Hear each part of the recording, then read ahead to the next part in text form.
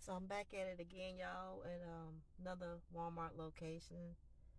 I got an order for a curbside pickup, paying twenty fifty five. It is seven thirty eight now.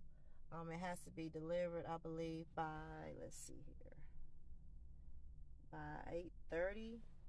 So I can start this trip at seven forty five to eight forty five, roughly twenty dollars and fifty five cents. So not bad. So like I said, I got here a little early. I can't start my um, pickup time until 7:45. From my previous experience doing walk, I mean Walmart Spark, you have to um, be at the actual location so they can ding your GPS, and then you can start your um, shift or your you know pickup. But I like curbside. I really do.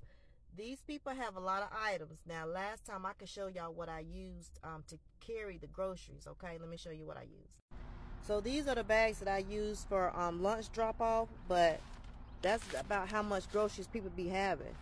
So it just helps out when people live in apartments and I have to tote this stuff up, you know, up a flight of stairs. So these are bags are pretty big, y'all. Pretty big. But this is what I use for lunch drop off. So the way I plan my day is I work Walmart Spark. Hopefully I can make like 20 30 40 dollars on Walmart Spark and then I go do um I go do lunch drop off at like a 10 45 11 ish and then I go back home and I do LiveOps and then if I-Dial U is dialing, for which we were dialing yesterday, I'll jump on I-Dial U and finish out my evening. So that's pretty much how my day is.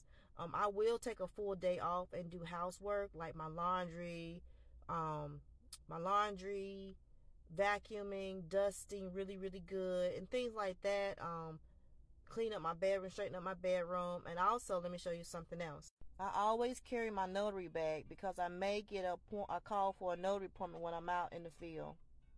So I always carry my notary bag. I just had to take a call, y'all. I got some very discouraging um, information about my son's school. Um, I'm about to go do some research about it. He just called and told me that St.